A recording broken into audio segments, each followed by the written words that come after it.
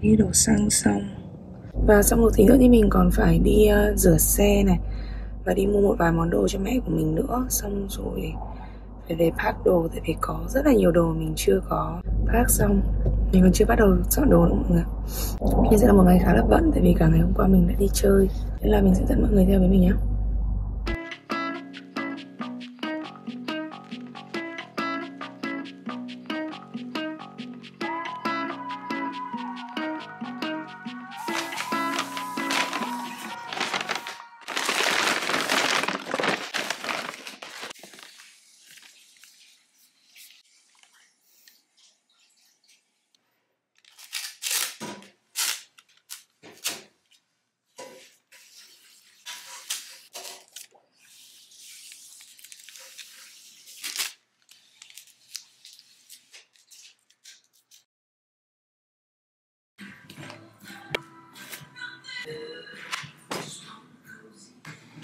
muốn cầm hết chiếc túi này về. Vì mình không biết bỏ cái nào ở nhà. Vì mình không biết để đâu nữa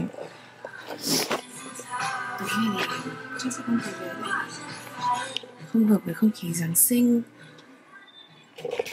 Còn đâu mấy cái túi này thì Mình cũng đang vân vân không là có nên cầm cái này về không.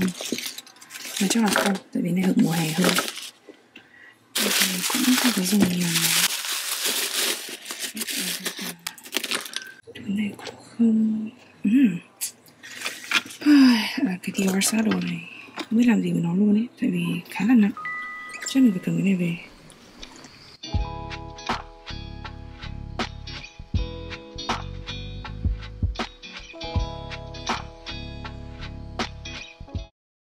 Sáng ngày hôm sau thì mình có một chuyến bay lúc 11 giờ thì nên là đã phải đi ra sân bay khá là sớm. Lần này thì mình đã chọn bay Asiana Airlines là một hãng bay của Hàn Quốc.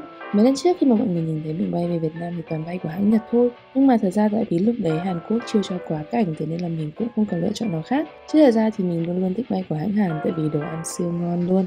Sau khi check in xong thì mình đã vào trong phòng chờ để ăn uống một tí. Ở trong phòng chờ này thì cũng có khá khá lựa chọn đồ ăn, thế nên là mình đã quyết định ăn một bữa sáng nhanh gọn lẹ, để tí nữa lên trên máy bay còn review đồ ăn cho mọi người.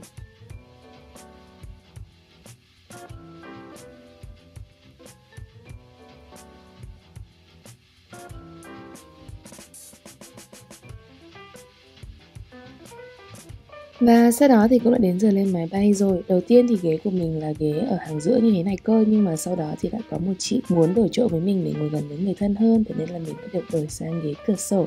Đương nhiên là mình đã vui vẻ đồng ý đổi luôn rồi, Tại vì mình rất thích ngồi cạnh cửa sổ.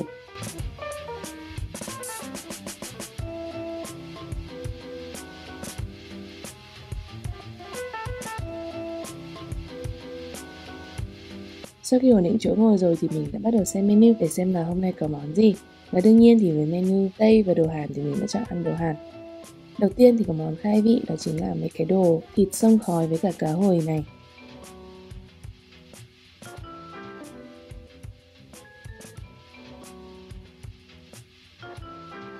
Sau đó thì chúng ta có cái món salad khá là lạ miệng này và đến cái món súp này, hơi ngọt một chút. Với món chính thì menu có bibimbap là một cái món cơm của Hàn. Cái này mình thấy được phục vụ rất là đẹp và khi mà mang ra thì mọi người sẽ tự trộn cơm, sẽ tự bỏ cơm vào và sau đó thì sẽ trộn sốt gochujang cho vừa với khẩu vị ăn. Ngoài ra side dish thì còn có cả kimchi và trứng nữa nên là mình thấy rất là thích.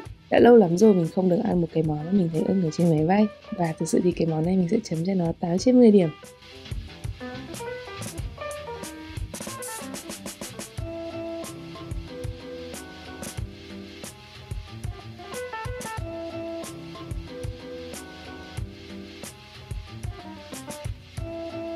Sau món chính thì đến tráng miệng, mình thấy cũng ok. Và sau khi ăn uống no nê xong thì mình đã ngủ một giấc Và khi tỉnh dậy thì đã đến lúc để xem phim. Khi xem phim thì không thể thiếu đồ ăn vặt được Thế nên là mình đã gọi mì ramen. Và đây chính là lý do vì sao mình rất rất là thích bay hãng Hàn Tại vì là mọi người có thể order mì 24 trên 7 luôn Thích ăn lúc nào cũng được Và mì ở trên máy bay thì mình không hiểu sao nhưng mà nó rất là ngon luôn đấy mọi người ạ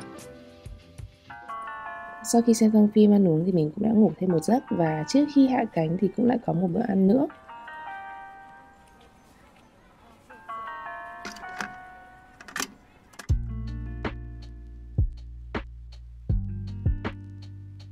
Sau đó thì mình cũng đã hạ cánh xuống Hàn Quốc và lúc mà mình hạ cánh thì là hoàng hôn nên là trời rất là đẹp. Ở đây thì là tận âm 7 độ thì nên là cực kỳ lạnh luôn. Đầu tiên thì mình đã tìm lên phòng chờ để ngồi đợi tại vì mình có quá cảnh 2 tiếng. Tuy nhiên sau đó thì mình đã bị delay thế nên là nó thành 4 tiếng mọi người ạ. Nên là mình đã ngồi vật vờ ở trong phòng chờ ăn hết món này để món kia. Hello. Nhưng mà đến lúc này thì cũng đã rất là buồn ngủ rồi.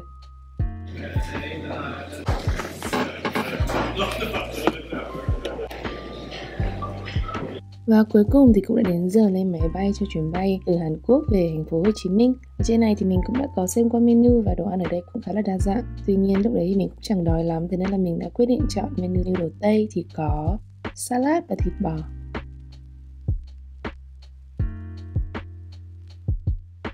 Sau khi ăn uống no nê xong rồi thì mình đã đi về vệ sinh để có thể đánh răng rửa mặt ở trước khi mình đi ngủ. Và vì chuyến bay này thì cũng chỉ có 6 tiếng thôi, Thế nên là ngủ một tí xong rồi thì mình cũng đã đáp xuống thành phố Hồ Chí Minh. Thế nên là mình sẽ hẹn gặp lại mọi người ở trong những cái vlog sau ở Việt Nam nhé.